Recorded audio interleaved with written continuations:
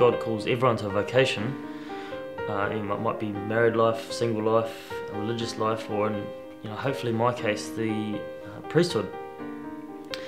How is it different from a career? It's it's for the rest of your life. It's a it's a life of service. It's a life of service out of love to our Lord and also to uh, the church, which is the people of God. And you know that's that's really exciting.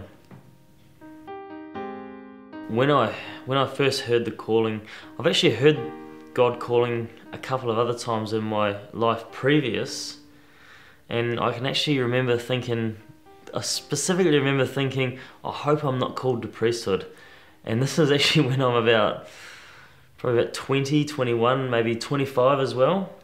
And about a year ago, I was at Mass and the priest challenged the congregation, challenged them in asking, Have you asked anyone to be a priest?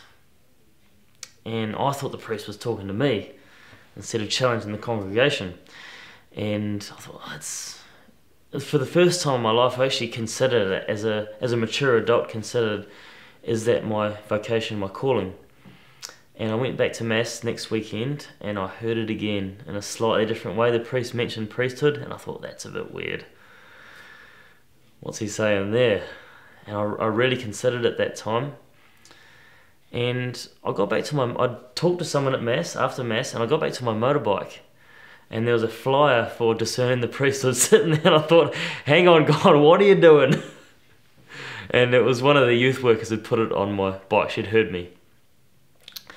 And it was sort of after that, that second and third time that I thought, I'm really going to give this a, a serious, mature, I'm going to give this serious and mature thought and give it serious prayer and actually go and seek out some people, some help in discerning this calling.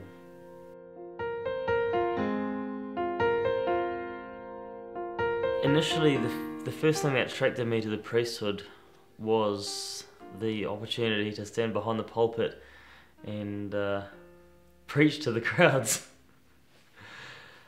As I, as I discerned more and more, I uh, realised that you know, what I'm interested in isn't really what doesn't really what matter. It's what God's got planned for me.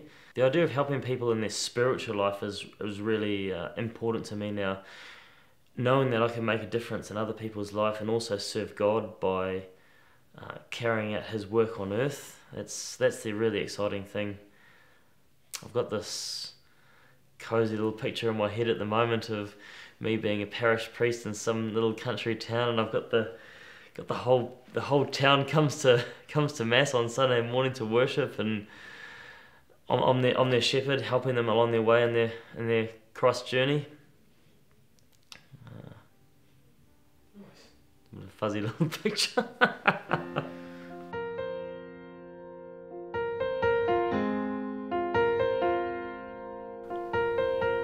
I'm a red-blooded man, definitely a red-blooded man, and I'd be I'd be lying to myself if I said I wasn't attracted to women.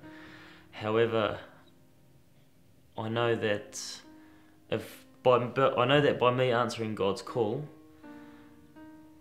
I'll I'll achieve ultimate fulfillment, happiness and love in my life. My friends think I'm a fitness freak.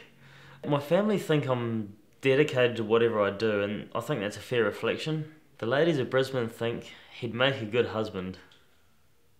Society probably thinks I'm a little weird. I mean, you got this guy who's was in the army for eight years, been to Afghanistan, boilermaker, personal trainer for for three or four years. Marathons, Ironman. I think society thinks I'm pretty weird and probably should go out and get married like every other bloke. But what society doesn't understand is this is not my choice, this is God's choice for me. I'm only saying yes to God's invitation.